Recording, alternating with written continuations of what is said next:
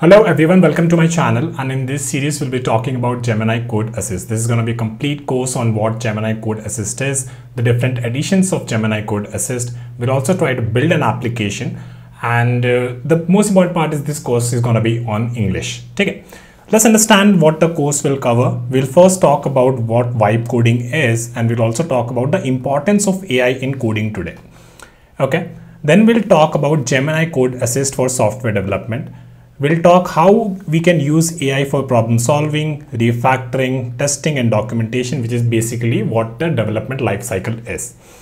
Okay. Then what we'll do, we'll build an expense tracker application using Gemini CLI. Basically, this is going to be a very basic application, but this will give you my tips and tricks on how I go about building an application using a AI assistant tool like Gemini Code uh, Assist or basically Cursor as well, right?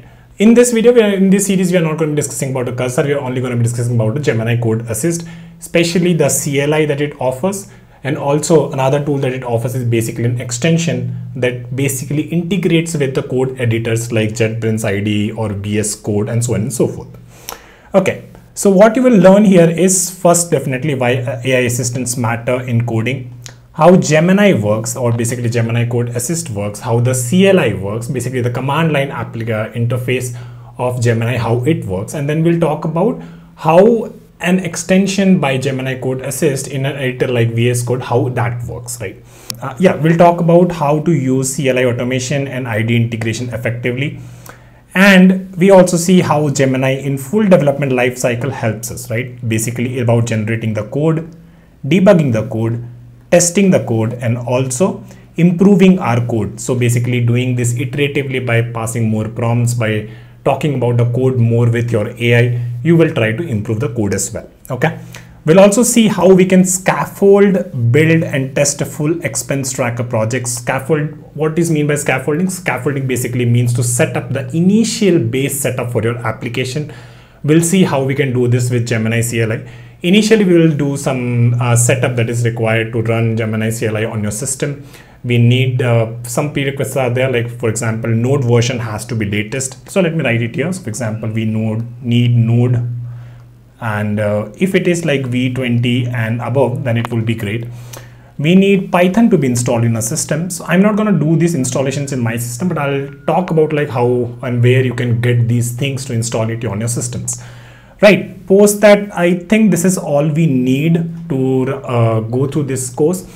You also need a google account right? You need a google account and we'll also talk, talk about like how you can get a gemini api key in order to run your app in order to do vibe coding with gemini code assist.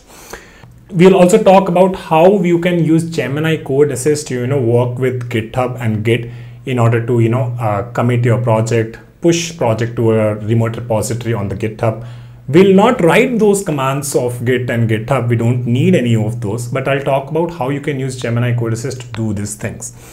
And finally, I'll talk about what MCP is and we'll do one simple integration in Gemini with a GitHub MCP server.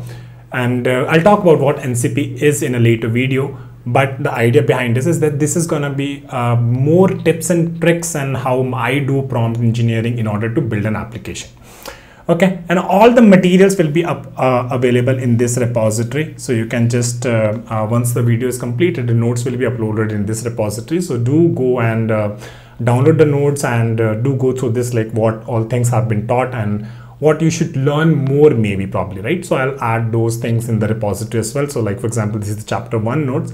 So i'll add necessary documentation at the end of uh, each note so that you can learn more about those things okay so this is going to be just a very quick intro video around what we're discussing in the Gemini Code Assist. I'll see you later uh, in another video where we'll be discussing about what vibe coding is and uh, we'll discuss about in very simple terms what agents are and then we'll start deep diving into installing the CLI uh, Gemini CLI actually on your uh, system and see that how we can work with Gemini CLI to scaffold a project and work, work with one simple expense, expense tracker application and how to do prompt engineering on top of that.